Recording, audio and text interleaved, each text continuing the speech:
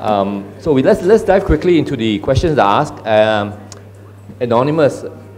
Culture, architecture, and use of building evolve through time. How do you define architecture?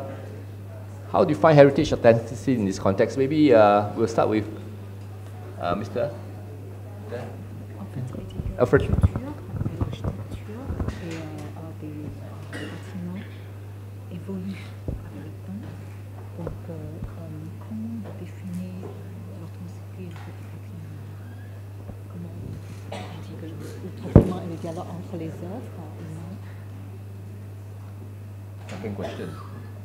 La, la deuxième question. La culture, l'architecture et les bâtiments évoluent avec le temps. Comment vous définissez en fait votre cycle patrimoine C'est une question très philosophique. It's a, it's a very philosophical question. Et la, la question de l'authenticité, euh, j'ai essayé de montrer dans, dans une des diapositives que euh,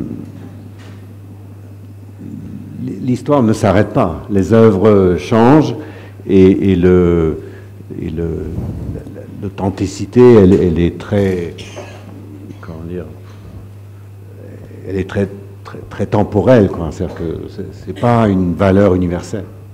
C'est une question très difficile à répondre. it's a, it's very difficult question to answer. First of all, um, I've shown in one of my slides that um, history doesn't change. Um, works, masterpieces may change, but um, authentic, authenticity is um, is in the time, in uh, temporal, but it doesn't. It's it, there's no universal value in that in authenticity? This is a very difficult question. You want to ask the first question? Ah oui. Which is in French. I can't read French. Ah, okay, uh, so okay. help. Non, en fait, la première question. So if um, heritage is a dialogue between uh, human um, works, masterpieces, and um, territory, so how can we Ah, in, in the face of um, climate changes, how do we save our um, heritage, static heritage?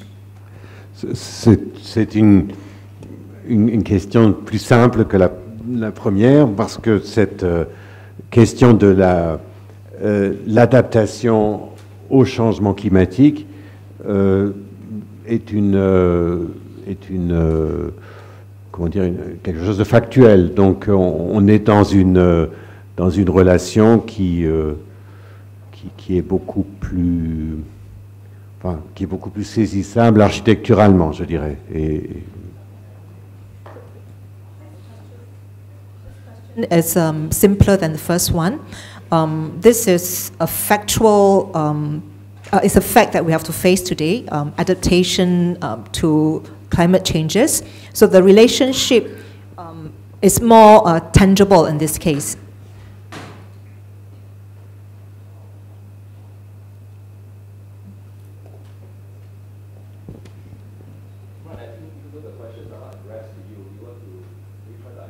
Oh, there's a third one. The third one is addressed directly. So I'll just talk about that, I think. Save time. Yeah. Um, thanks for this question. Actually, it's a little bit um, Oh, I can answer both questions together. Actually, the, the, the, to talk about the designs as gradual Arabization is a bit anachronistic because the Indo-Saracenic colonial architecture that you see built for mosques in the 20s and 1920s and 1930s, uh, they were built by colonial architects, nothing to do with Arabization. If anything, it shows instead the kind of misassumptions or what they are familiar with. So colonial architects from British India or Dutch architects, they were familiar only with the kinds of Islamic architecture that has been can canonized in books like Banister Fletcher's. So when they refer to Banister Fletcher, how to design, or when they refer to their colonies like British India, Mughal, and then for the French is uh, Moroccan, yeah? Moorish. So then they, they, they, they, they do a mishmash of it. That's got nothing to do with Arabization actually. So it's a colonial uh, importation, if you like, imposition even. And then um, if you, what was it? Huh? the, these Southeast Asian designs. It's got to do with the fact that the colonial architects are not familiar with how to build the South Asian idiom. If you look at uh, the uh, Netherlands, East Indies, Indonesia today, you go to certain towns where the Dutch tried to build these. They look simple, right? Just stack the roofs. But actually, if you look in the interior, the Javanese mode of construction is very economical. The use of timber is very slight, but it can huge. Can, you wouldn't believe it, but one of the two mosques I showed you from Sumatra, for comparison, is taller than the Blue Mosque in Istanbul. I know you wouldn't believe it, but it is. It's taller than the Blue Mosque in Istanbul. So we are very accustomed to only be looking at stone mosques as monumental. We don't think of the Southeast Asian ones as so, as being so. They were just as huge and very difficult to build in timber without cranes and whatnot. Unlike stone, you can stack it up. Uh, for timber, you have to erect it. Mind you, that's even that's that's completely different mechanics. And, and today, if you want to talk about Arabization, the, com the, community today might be you arguably in terms of dress Arabized, but the mosques are not. The mosques begin to look like malls and community centers, don't you think? All right. I mean, the, the, the question uh, that just came up your presentation is overwhelmingly focused on Malay heritage. What are the diverse heritage left to us by the British, Chinese, Indian uh, forefathers? Yeah, I tried to, because I had only the amount of time I had, I tried to show those that were demolished for the areas surrounding Chinatown and the areas surrounding Kampong Glam. It so happens that in both cases, it's overwhelmingly Tamil Muslim or Malay or uh, Southeast Asian Muslim, different groups. Yeah, that's my short answer. Uh, if you ask, there's, there's a second part, right? So what did they leave? Diverse heritage left to us by British, Chinese, and Indian. Well, it was also in my presentation, just that I didn't articulate it. You could have seen for one of the maps, I showed all the different Joss houses shown in one particular map. I don't know whether you noticed that. All the different dialect groups, I listed it. But I just didn't have time to go through each one and each and every one of them. And um, if you want to know more, you know there's this website called what, nanyangtemplearchitecture.com? it's all there. And on, on the other hand, if you look at mosques or Hindu temples, the record is very poor. So I focus my attention on this. Yeah, that's the reason. All right, I think there's one that I think um, in relation, I think, to uh, what uh, Mr. Alfred Peters talked about. Uh, he, he, he had all these examples of uh, conservation work in, in uh, Europe uh, that doesn't have the, say, the confines of spaces, Singapore we do. so we tear down, if it's a, you know, we, the, reason why you are concerned with uh, connections replaced is because you know buildings get turned up, uh, torn down every 30 years. So maybe this question that uh, is posed to Imran, maybe you can answer. It says um, um, about something about space here, right?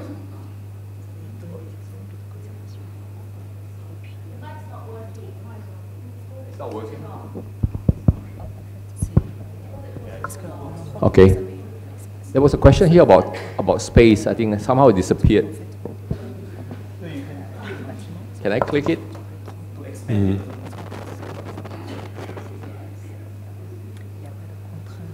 Sorry. Doesn't help.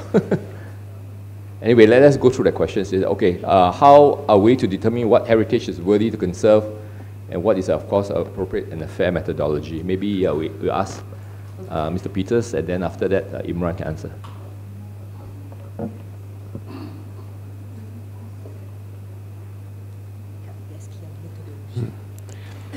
C'est une question très importante et euh, je crois que dans toute politique euh, de conservation, la question essentielle est qu'est-ce que je veux transmettre à la génération future, qu'est-ce qui est important à transmettre et quels sont les éléments que je dois absolument leur transmettre. C'est ça qui détermine si oui ou non on démolit ou on ne démolit pas. So this question um, is very important because I think in all conservation policies, we should take into consideration uh, what we want to transmit to the future generation and what are the important elements, what are the aspects that we want to transmit, and that's how we determine um, which buildings to conserve. L'histoire euh, en elle-même, le fait que ce soit ancien, ne peut pas déterminer à lui seul qu'on doit le garder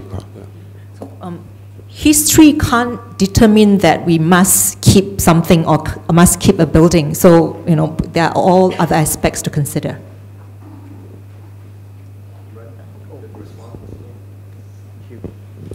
That's an interesting question because fairness is a bit difficult to. Hmm, sounds like a, but um, to determine what to conserve, I don't know. I suppose. I suppose one way to think about it is that we ask ourselves, what kind of new development will replace it?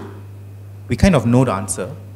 Uh, it will be more Old Chang Kees and more. Uh, am I right? I mean, the chain stores in malls. This is proliferating. Whenever you demolish something, you replace it with that or something similar. So it's a, it's a kind of franchising network of real estate players or condominiums, right?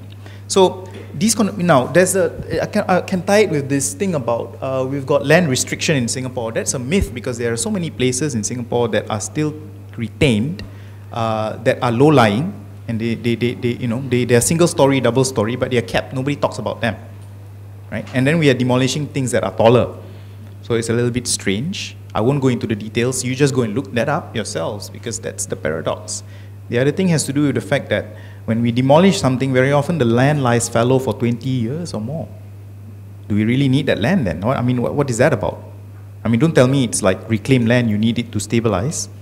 It's not. So uh, that, that's something else then. I mean, there are other reasons for it, um, which I won't elaborate, but it, it, that's a myth because really, if you really did the calculation, it's not really the case when something is demolished, it's because you really, really need the land. Um, the answer to this whole uh, uh, whether whether something needs to be conserved is whether it protects or furthers economic variety and social cultural diversity. If it does, then I think you will give it a higher priority, right? You're talking about diversity, social cultural diversity or economic variety. Variety. I mean variety. So it used to be that, you know, we only stopped building the HDB complexes in town in 1983. Before that, this was pretty much a semi-socialist regime. You built public housing right in town. Can you imagine? Bras Basah complex, Hong Lim complex. Today, what, what prices would these fetch? So these places are containers for the people who got displaced elsewhere and they operate all sorts of shops there and eateries. That's, that's the kind of diversity you still get. And when you go to Chinatown Heritage, uh, you know, the new Heritage Center behind Buddha Tooth Relic Temple, all the old people who stay around there, they are the ones who populate the public spaces. The only locals who are there. Otherwise, it's tourist land. Yeah. Okay, I think it's another question just came up. Uh, it's for Mr. Peters. Uh, could you suggest a sophisticated approach to realize in Singapore? Uh, Dr. Imran's uh, issue about integration of racial heritage in districts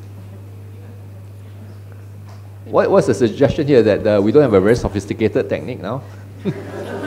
All right.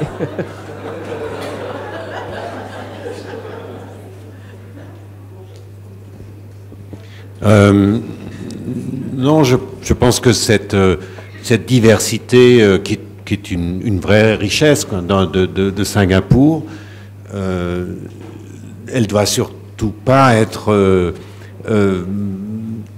détruite dans une forme de banalité moderne. Donc euh, je pense que c'est euh, très, très intéressant de voir comment euh, aujourd'hui cette, cette richesse, elle est, on sent qu'elle est menacée et qu'il faut... Je ne connais pas assez Singapour pour vous donner un conseil sur une méthode à utiliser, mais garder précieusement ce multiculturalisme pour éviter de vous retrouver dans une ville d'une totale banalité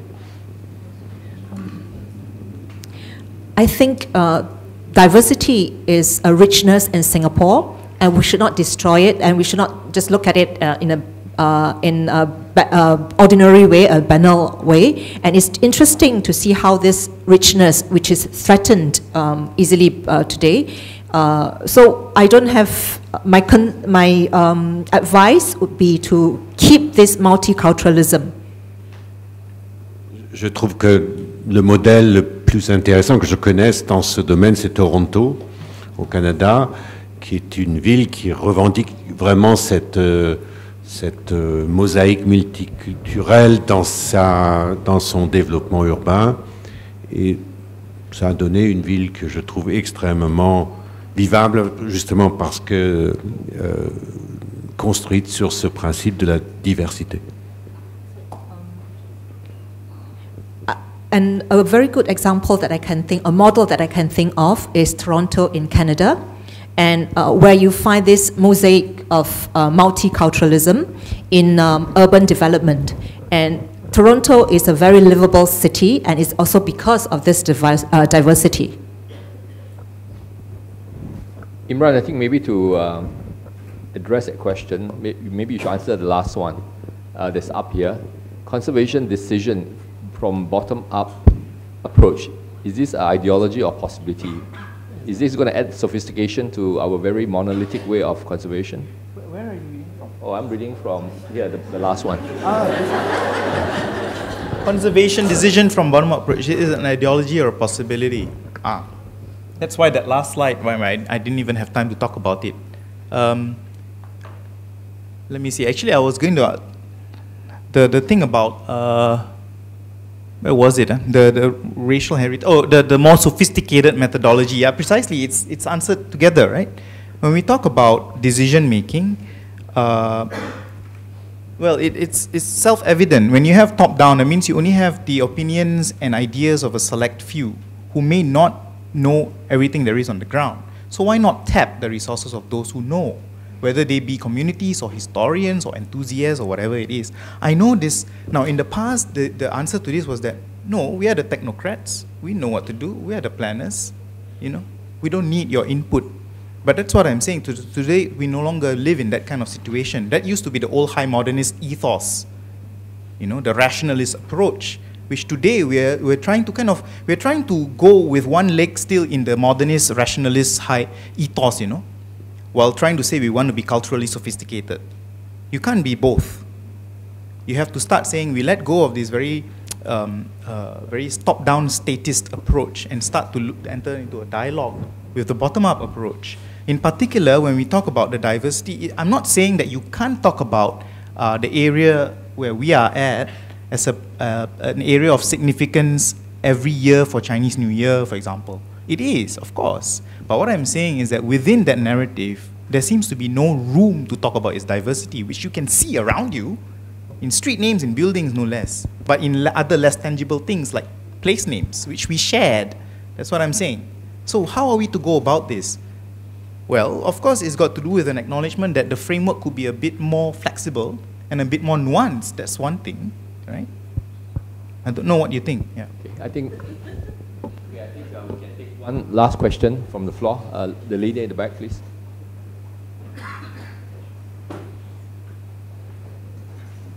I think um, my question follows on from your comment just then. Um, I suppose it's a bit of a political question, um, but this sort of oversimplification of heritage that you're talking about in terms of built heritage and street names, I'm assuming that it's a reflection of a political agenda which has um, stratified cultural groups, a very sort of complex um, society, into much more simplistic groups.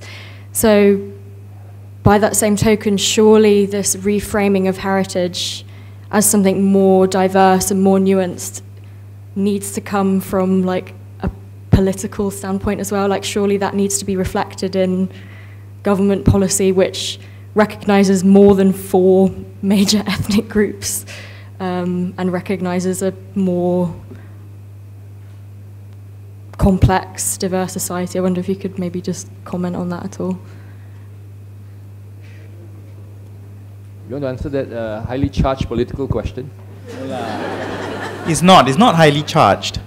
Actually, I mean, this is already discussed by so many scholars, you know. So it's not highly charged at all. And and um, I don't know. Sometimes, uh, see, when when I was doing a, a, a short article on this uh, some time back, I was wondering myself whether this really has to do with a political agenda agenda to stratify, or whether it had to do with the expediency of marketing for tourism and the models taken from elsewhere where Chinese are objectified, you know. So for example, Chinatown, the idea of Chinatown as a packaged tourism district comes from the US.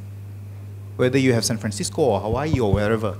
Especially in San Francisco because of the, the earthquake. So after the 1906 earthquake, the very racist uh, administration of San Francisco wanted to take the opportunity to drive out all the Chinese from the center of San Francisco. The Chinese landowners were very smart. They decided to Disneyfy themselves and added all those dragon type, uh, you know. And then they said, look, we are valuable. You are your tourism real estate. Don't drive us out. In the end, they succeeded until today. It's become so famous, right? One of the first Chinatowns to market itself like that, in that Disney-esque fashion, is San Francisco. After the 1906 earthquake, it spread like wildfire. Every other Chinatown now has a paifang. It didn't used to be the case. If you go to Makassar 2006, they've made a Chinese paifang. Malacca now has several. I don't know, Penang is not going to build one, I hope. The whole of Penang is Chinatown. Lah. I know, lah. I'm, I'm, you see, it's not. Penang knows better than that. It knows it's diverse. Exactly.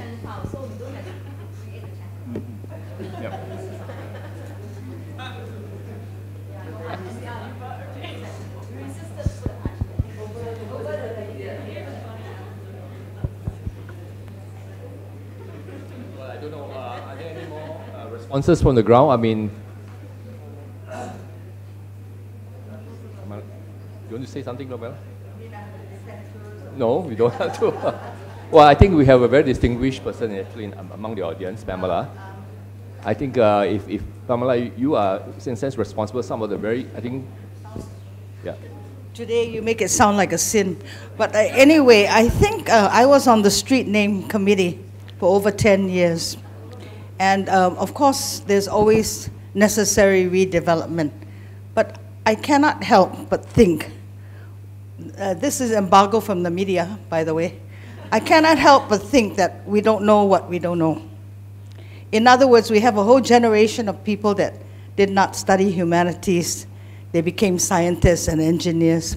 And we didn't really bother to read a lot of novels and, and study what happened. It was only personal interest.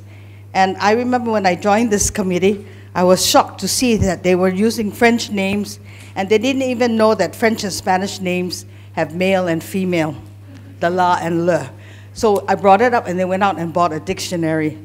Okay, but I think this, we've done a lot of things right, and hopefully today we can refine it and do it a bit better and properly and address this. And I think all the information, um, some of the information that I've heard today, I, I think someone should know. I mean, even if they decide not to take the name, at least it's a decision, an option. What scares me is nobody addresses even an option. Somebody just pulls it up, what they fancy, what I like, or what I think sounds great. But I think as a nation, we should identify as much as we can. If we make a decision, you make it knowingly, not out of ignorance. Bravo. Okay. We have one last response. I think this is uh, uh, really. Engine, please. Yeah. Um, I do need to um, make some comments in relation to Dr. Imran's comment. Um, and may I know how old are you, Dr. Imran? He's young yeah, I'm very young. I'm 39. Okay, you're 39. So that you're born in which year then? sorry? Is this about me or is no, this no, about no, the topic? okay, 78. So no, 78. So it's very young. I am 71, and I was, and I was with URA for 34 years. As a young girl, we walked the streets of Chinatown, Little India, Kampung Glam. Now, URA did not call these conservation areas such because of STB tourism. There were two things. Firstly, I think we do infer from the Raffles town map, the early maps, where he assigned the different um, migrants, you know, to the different locality, such as the Chinese to the south of the river, and the Malays to the north of the river. And subsequently, Little India came much later because there were this Kerbau Road and so on, where the Indians will be there, where the butchers, the, um, um, you know, and so on. Now that's the first part. The second part is because these were the, where the early migrants were assigned to, and it continued. So if you walk Chinatown in the 50s and 60s. I was born in 1944, so I walked Chinatown in the 50s. So if you walk the streets, you know most of the residents there and businesses there are run by Chinese. And the um, trades are also mainly catering to the Chinese, such as Chinese medicine, herbal shop, clocks makers, um, you know, um, all the funeral, funerals, and so on and so forth. Now, in Kampong Glam, I think the Arabs were the early migrants there. But then you do find over time it evolves, and you have this Arab street that sells all these textile material and so on. They cater, you know, to not just the Malay, but to the population at large. But most of the shops are run I, I, am not sure about ownership, but they are run by, you know, um, Malays or Arabs. Um, Little India, I would think that, you know, as, it, as the place evolved, there were, it's not that it has a lot of Indians as residents there, but there are many shops, in fact, operated by Chinese merchants, but they catered to the Indians' um, customers. And they are not local Indians. There could be um, visitors from other parts of the world and so on and so forth. So when we call these three locations by the name of Chinatown, Little India, Kampong Glam, I think it is, was not a tourism-motivated initiatives.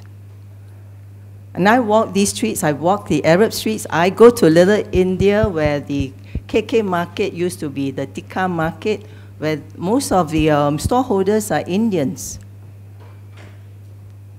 And, and also some of the areas that you um, indicated, we have not acknowledged them, but I think we did. For example, China Square, we know it is, the China Square area, in fact, is much earlier than the um, Kreta Ayer area when the development took place.